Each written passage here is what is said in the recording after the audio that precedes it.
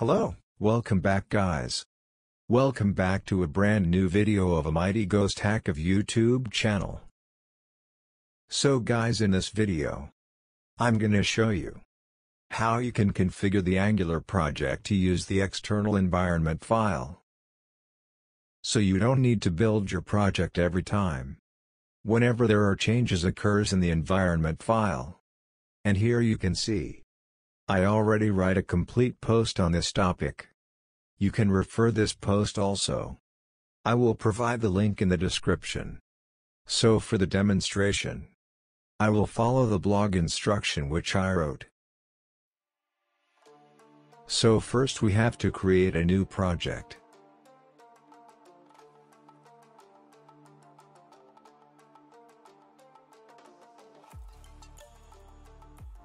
Once the building of the project is complete, we have to run also.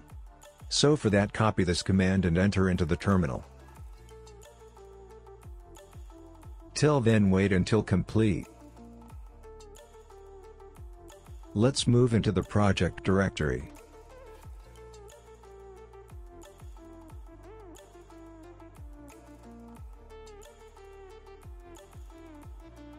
So here you can see after creating and running the project first time, you will land into the Angular basic template page. As same shown in this post as well.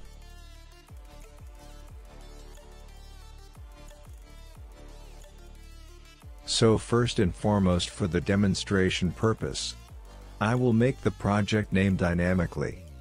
For that I will keep the project name value under the environment files. So make it dynamically by adding it into environment files. As you can see in this screenshot.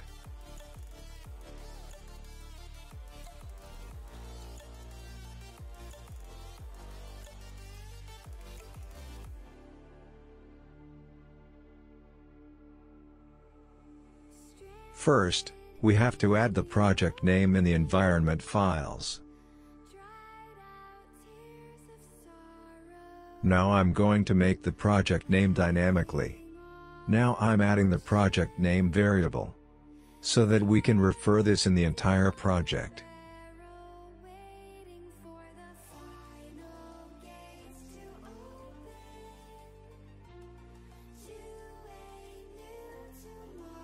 Also adding in the production environment.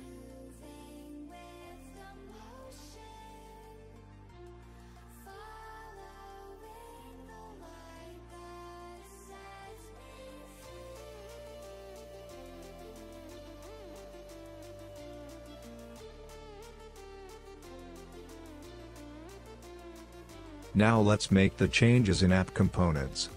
And provide environment variable value as below shown in the code snippet.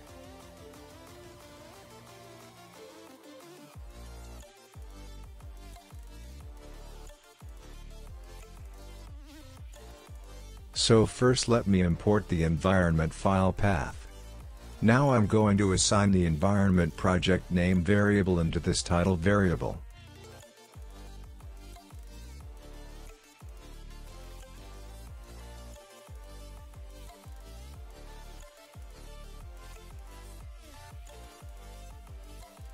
Now we have refer this created variable in the app component. So we have successfully added the project name dynamically.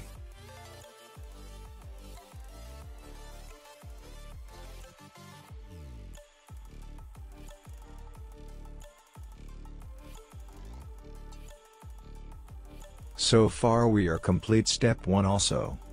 Let move towards step 2. In step 2 we have to create an external JS file.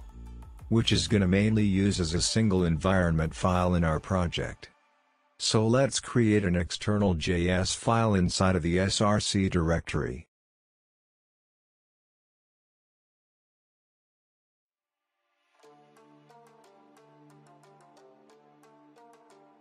Now copy this piece of code into the file.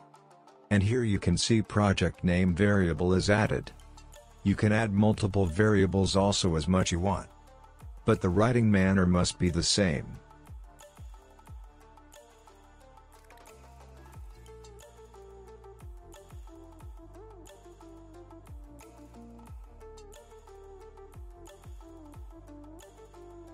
Next, we have to include this file in index.html.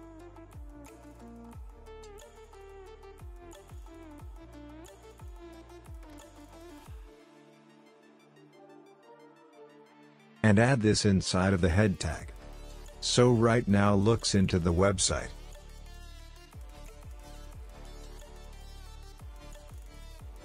Let's see it is giving any error or not. For that, we need to open its console tab. So right now it is giving a 404 file not found an error. To resolve this we have to rebuild the project.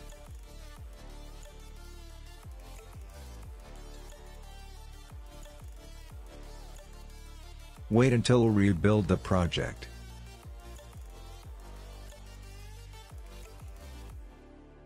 Right now at least it's looking for its path. But still, the error is not resolved.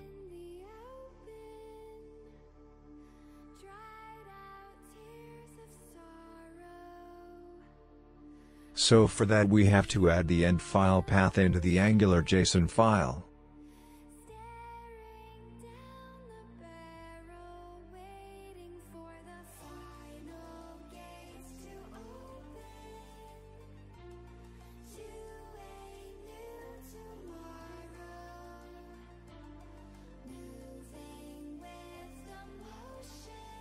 Again we have to rebuild the project and check.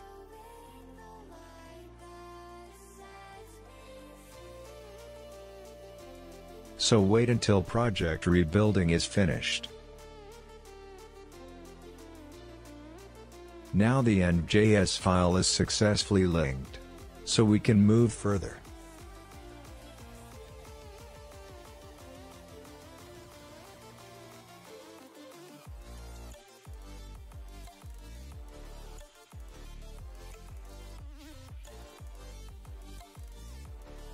Now we have to build the project for production. And check env file appear in the build folder or not. So wait until build the project.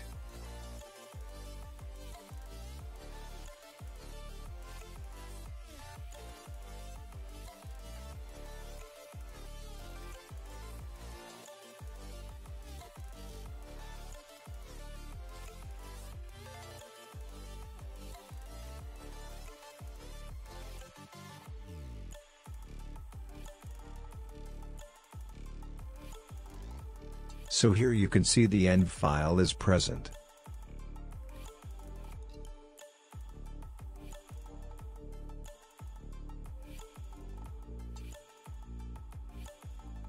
So far we're done. Let's move to the next step, now we have to create an env service file and its provider also. We need to register the provider with the Angular module.ts file. In the first place, we have to create an env service file. So simply copy and enter this command.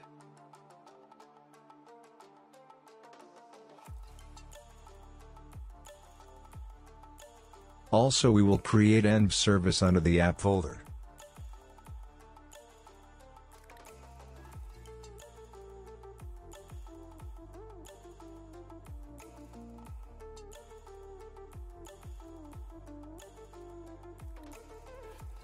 And here I am mention service because I want it to create under the service folder. This is just for simplicity.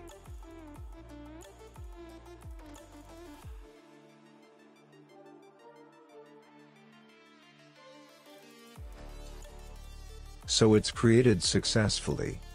Here you can see under the service folder environment service file is created.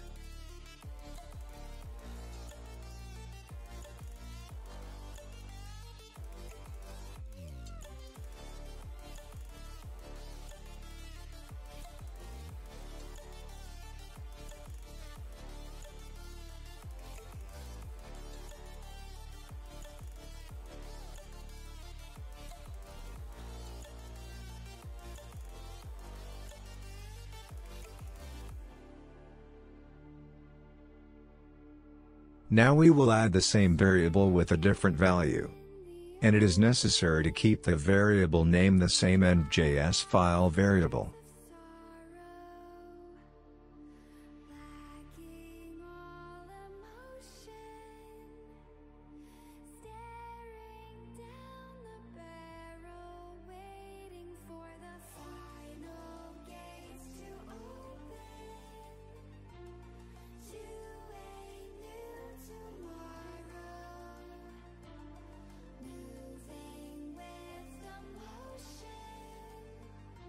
Now we will create a service provider manually. We are creating manually because it's not included in the Angular CLI command.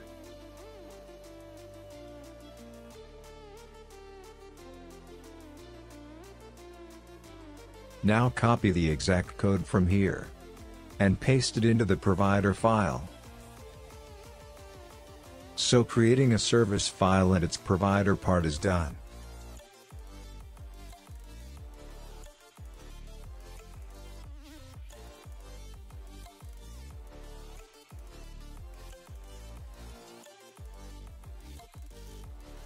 Let's jump over the last step which only consists integration part.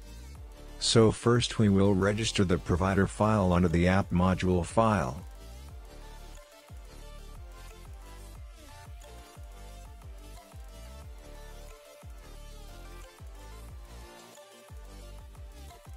So let me import it first.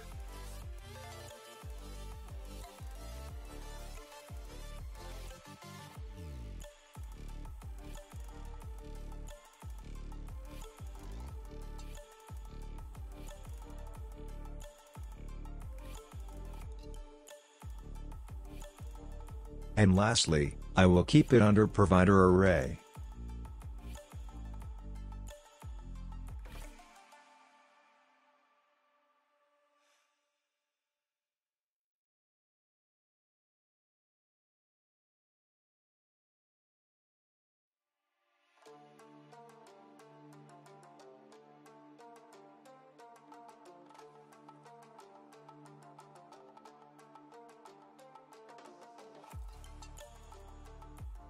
Now the last step is to replace the environment file with environment service. Now create its instance and replace it with another variable.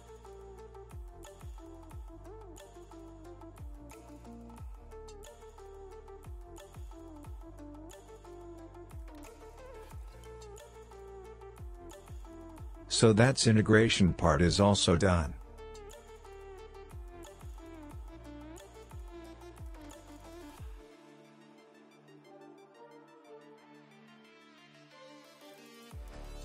And here project title is shown from the external env.js file. Here you can see this. Also, try to change this variable value and let's it is reflecting over the project or not.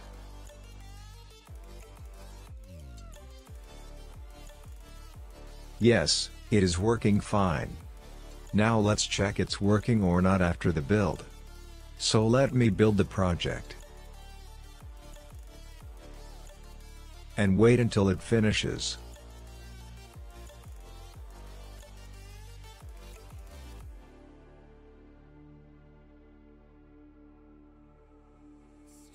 So it is done.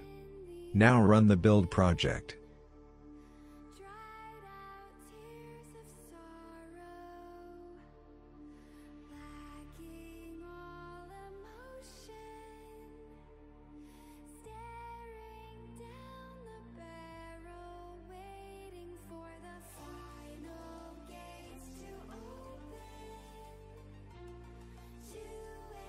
Let's make a change into the project name variable. And see it's working or not.